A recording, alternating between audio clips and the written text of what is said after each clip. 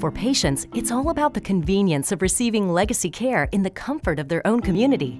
Being able to provide a little bit better patient care experience through the technology is exciting because I think everyone who works here is constantly striving to improve that experience. Telemedicine is bringing the doctor right into the patient room so that patient connection with their doctor feels just like if they were in a live setting for them. The biggest benefit is that patients don't have to go to Portland to get the benefit of care from the legacy system.